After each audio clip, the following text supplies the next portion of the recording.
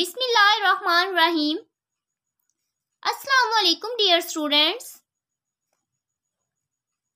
Welcome to Talimul Islam high school Bhalwal. Dear students, I am your English teacher. I hope you all will be fine. Open your books of English. Here is unit number one thank you lord Allah Taala आपका शुक्र है। Dear students previous lecture में हमने third stanza किया था। अब जो है आज हमने फोर्थ स्टेंजा स्टार्ट करना है। Open your page number two. Here is fourth stanza dear students please focus on your books and speak with me loudly hold my family in your hands. The difficult words are hold, family, hold, family. hold का मतलब है पकड़ना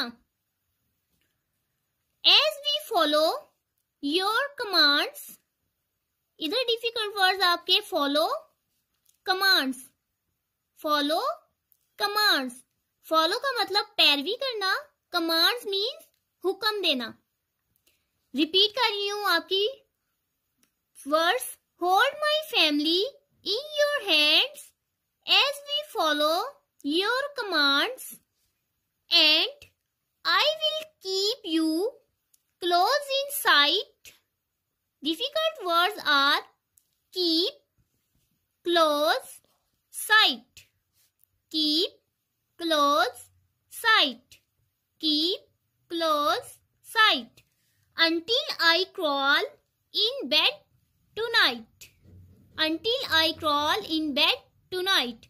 Difficult word आपके इसमें until until means जब तक crawl means रींगना tonight आज रात until crawl tonight again I am repeating the fourth stanza thoroughly hold my family in your hands as we follow your commands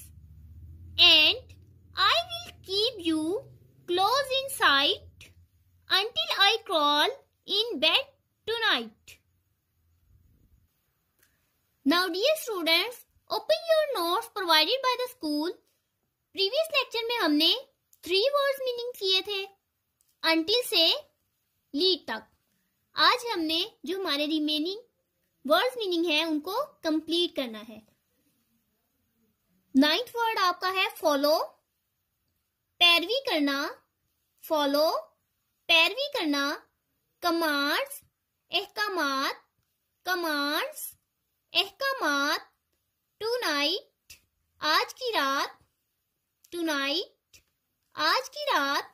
crawl रिंगना crawl, रीना। Dear students आज जो हमने वर्ड्स मीनिंग किए हैं, आपने इन्हें अच्छे से याद कर लेना है।